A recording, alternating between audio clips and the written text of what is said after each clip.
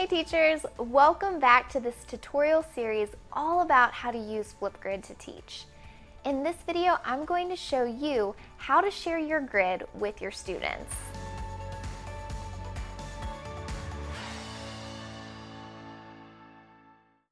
In a previous video, I showed you how to set up your grid.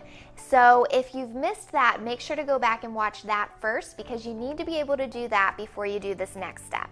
Now I'm going to show you how to share that grid you've created with your students so that way they can access the assignments that you post and post their responses. So let's jump on my computer. I'm going to show you how it's done. In the last video, I showed you how to create this grid. Now I'm going to show you how to share this grid with your students so that they can access it. There's a couple of ways that they can do it.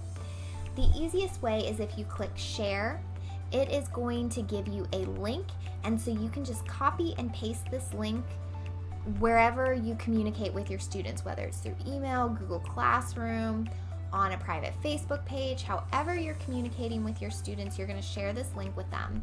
And when they click on the link, it is going to take them to a page that looks like this. Now, I've set it up so that my students have to enter a password to access the grid. So it's going to take them to this page where they put in the password and once they do that, they are now officially on my grid. And this is what it looks like from the student view. Now, another option that you can do is this is the code for this grid. So think of it like the code for this classroom. If you've used Google Classroom, you need a code for your students to be able to access that classroom. This is the same thing. So I'm gonna copy and paste this code and you can share it with your students. And if students just go to the Flipgrid website, so this is the homepage for flipgrid.com, and they just scroll down to where it says enter a flip code, they can type it in. They can type in the code or paste in the code. And once again, it's going to ask for the password and then it will take them to this page. So those are the two different ways that your students can access your Flipgrid.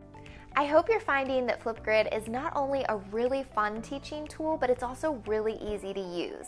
Make sure to like this video and subscribe to my channel so that way you don't miss out on any of the other videos in this series or any of the other videos that I release on my channel. Until next time, happy teaching!